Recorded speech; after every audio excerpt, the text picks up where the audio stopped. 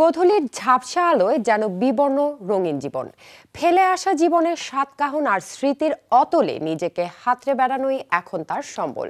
যে জীবনের পরতে পরতে লেগেছিল শ্রদ্ধা আর ভালোবাসার অনাবিল পরশ, আজ সেই জীবন মনে হয় নির্জনে ঝরে পড়া শুকনো কোনো পাতা।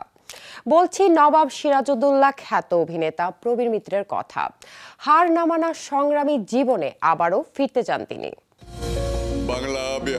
উড়িষ্যার মহান অধিপতি তোমার শেষ উপদেশ আমি ভুলিনি জনাব। এখনও তার কণ্ঠে অন্য এক অনুভূতির জন্ম দেয় নবাব সিরাজউদ্দৌলার সংলাপ। হয়তো সে কারণেই তিনি ফিরতে চান অভিনয়ে। তুমি বলেছিলে ইস্ট ইন্ডিয়া কোম্পানির কর্মচারীদের প্রশ্রয় দিও না। তবে বয়স আর শরীর সায় দেয় না সে ইচ্ছায়। কমেছে শ্রবণ শক্তি হ্যাঁ সঙ্গী হয়েছে হুইল চেয়ার। সে চেয়ারই এ ঘর ও ঘর ঘুরে হয়তো খুঁজে বেড়ান সোনালি সে সব দিন।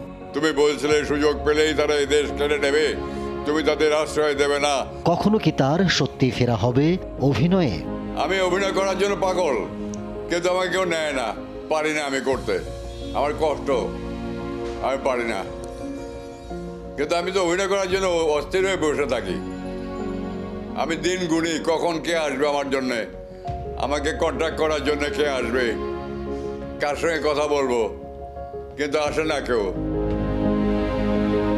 এইচ আকবরের পরিচালনায় জলছবি সিনেমায় অভিনয় করে ষাটের দশকে রূপালী পর্দায় অভিষেক তার। তিতাস একটি নদীর নাম, চাবুক সহ বেশ কয়েকটি সিনেমায় অভিনয় করেন কেন্দ্রীয় চরিত্রে। সবশেষ প্রধান চরিত্রে অভিনয় করেছিলেন রঙিন নবাব সিরাজউদ্দৌলা সিনেমায়। পরবর্তী সময়ে নায়ক না হয়ে চরিত্রাভিনেতার দিকে মনোযোগী হয়ে ওঠেন তিনি। সেখানেও পান সফলতা। অর্জন করেন জাতীয় চলচ্চিত্র পুরস্কার সহ নানা ধরনের পুরস্কার।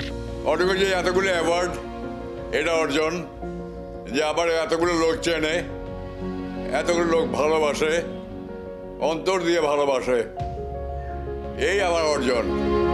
তবে এখন আর কেউ তার খবর রাখে না সেভাবে। তার কণ্ঠে হয়তো তাই খানিক অভিমানের সুর। খুব একটা কেউ দেখতে আসে না। আমিও ফিল করি যে তারা দেখতে আসবে কি করে। তাদেরও তো সমস্যা আছে। তাদেরও তো ব্যস্ততা আছে। যে এগুলো ফেলে আসবে কি করে। হয়তো আসবে। দেখা যাক। বাড়ে বয়স কমে অভিনয়ের সুযোগ।